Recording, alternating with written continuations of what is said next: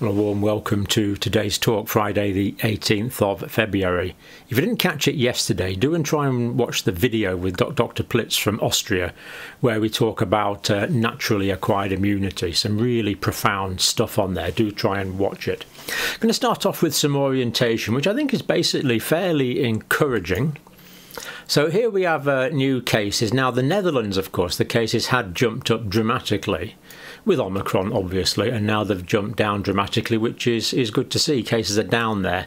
Now, the degree to which that is a reduction in cases or a reduction in testing, I'm not so sure. Uh, but let's look at some other countries Australia, United Kingdom, United States, New Zealand, Canada. Well, the trends are all down there, but in the United Kingdom, this downward trend in cases is probably not as real as this looks. So there are some testing problems. And basically, the UK government is talking about stopping giving away free tests, and I don't think many people will buy them. So I think the era of mass testing is probably coming to an end. So this data here that we have used for quite some time is probably becoming a little uh, fragmentary now.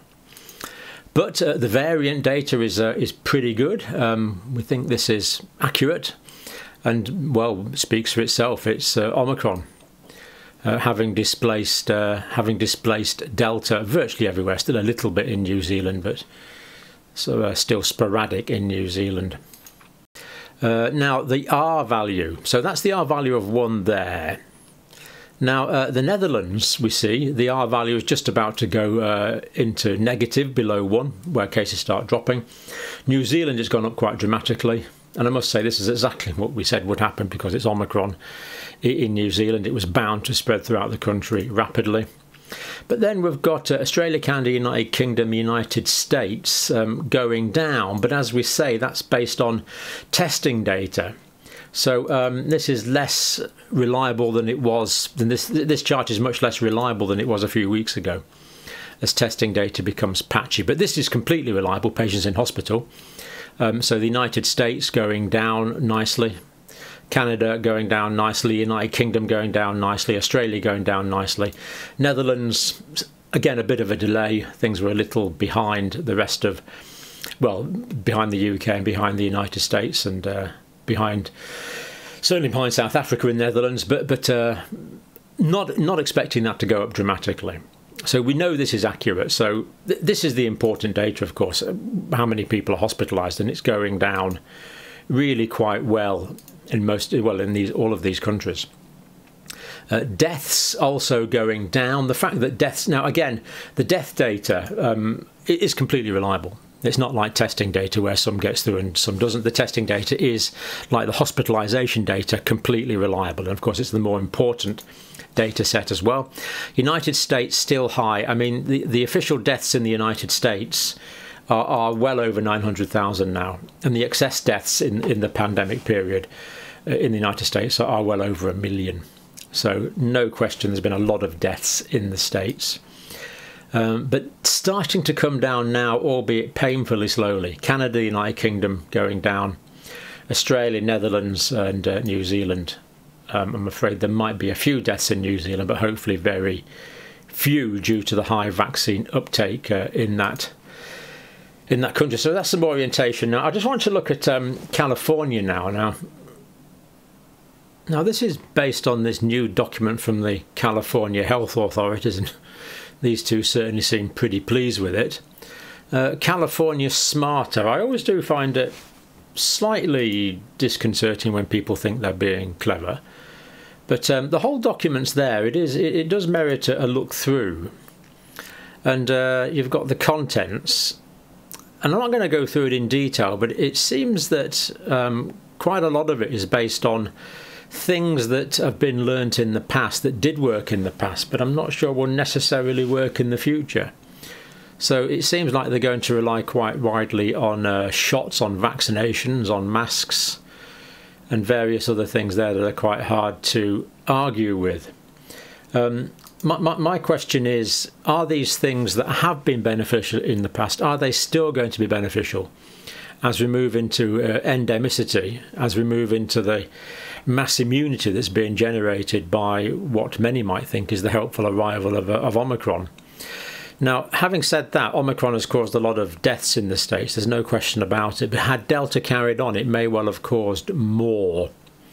So, just slightly concerned about the strategy there, and um, I'm just hoping that it's not politicised as well. And I, I, don't say that sarcastically, I'm just hoping that it's not, because it does tend to give a very sort of optimistic, uh, self congratulatory view.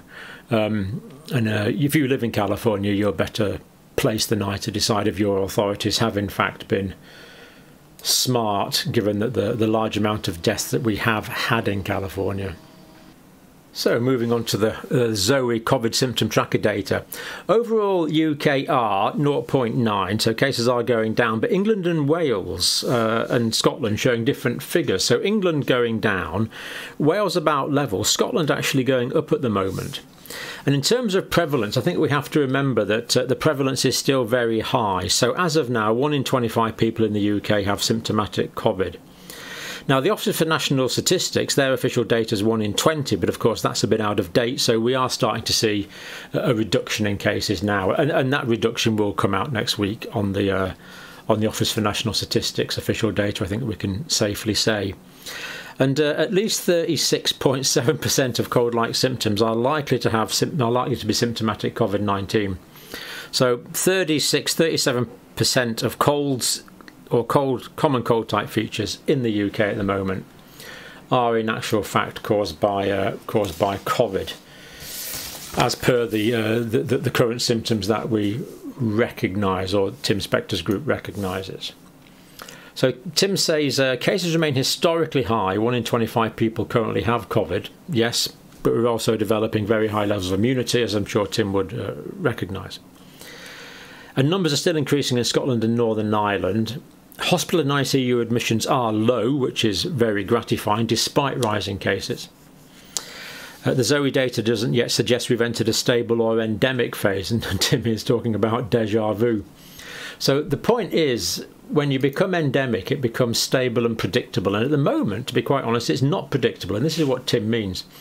Now, by de- deja vu, I think he means this. this is where we are now, and it looks suspiciously like, well, we're there now, and it looks suspiciously like this. So I think that's what Tim's talking about for a feeling of deja vu there.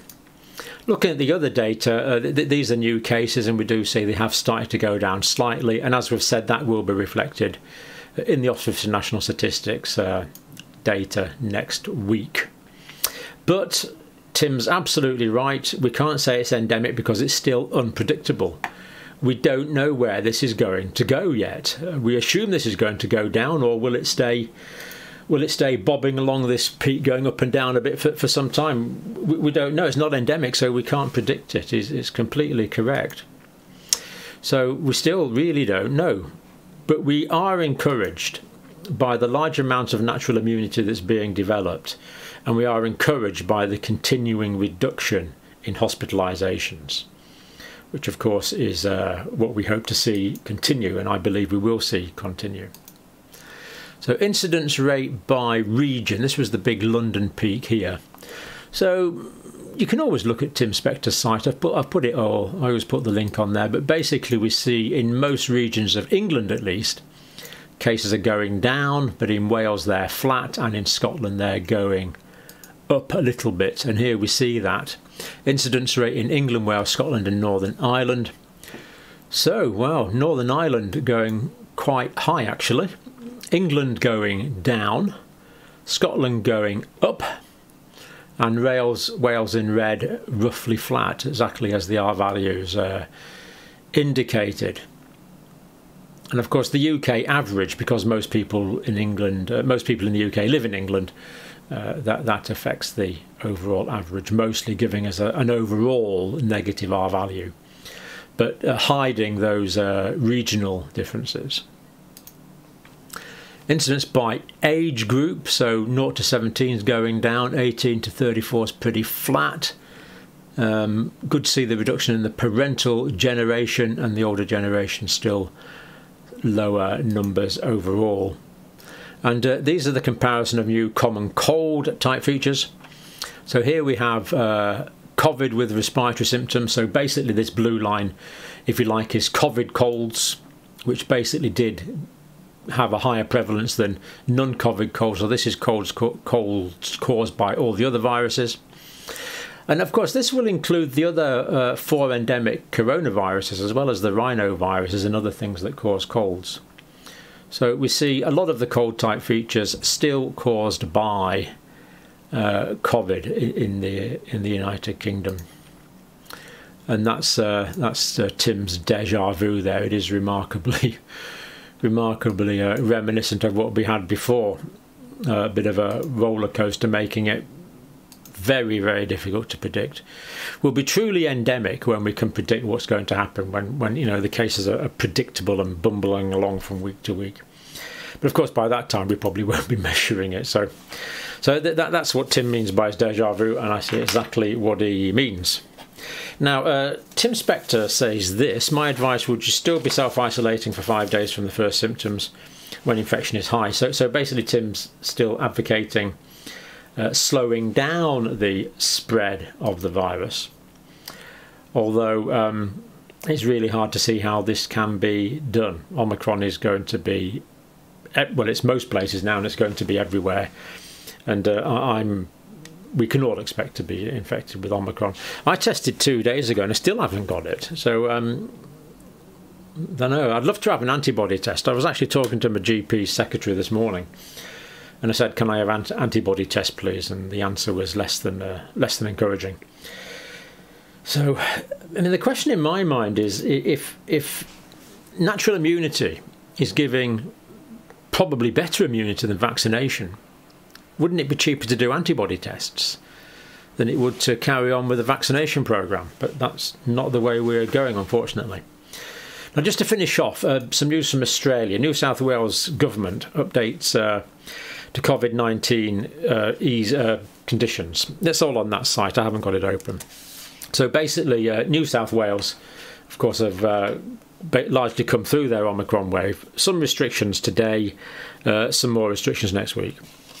Hospitalisations and ICU rates are declining. Booster uptake is good. And of course, uh, Australia has needed the, uh, the vaccination programme because it didn't have any natural immunity. So the fact that the um, pandemic has been as mild as it has in Australia in terms of hospitalisations and deaths, I know there's still been problems, but the fact that it's been as mild as it has is due to vaccination. It's worked in the past. But is this the time to move from vaccination towards herd immunity in Australia as everywhere else? To, to, towards natural immunity would, would be my uh, contention. We can't keep vaccinating forever.